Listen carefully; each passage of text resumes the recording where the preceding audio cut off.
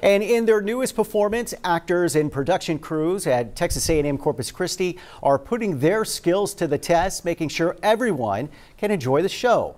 KRIS 6 News anchor Priscilla Torres explains.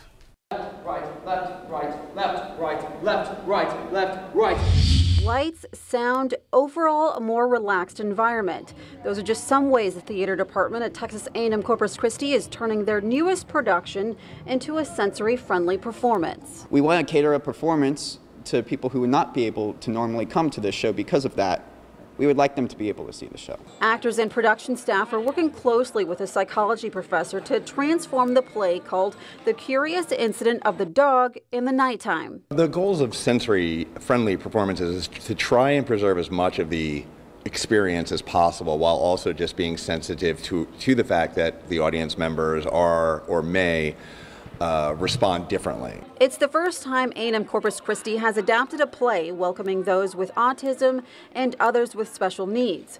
Colton Kloffenstein, who plays the main character named Christopher, says everyone has worked hard to get the production just right. It's actually something that I'm really looking forward to because we do scenes and stuff like in, in class and whatnot, and there's no lights or sound or anything like that for that. So it's going to be very natural and it's going to be, you're going to get everybody's best performance out of that. The play features a 15 year old boy with a learning disability who sets off to solve a mystery and his journey along the way. Allison Frost, the show's director of production, says it's a perfect example of how anyone can fulfill their dreams. The message is amazing about uh, encouraging anyone and everyone to live to your fullest potential, even when we don't even know what that fullest potential may or may not be. Priscilla Torres, KRIS 6 News.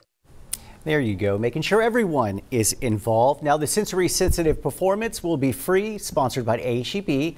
The special performance will be held on Monday night. And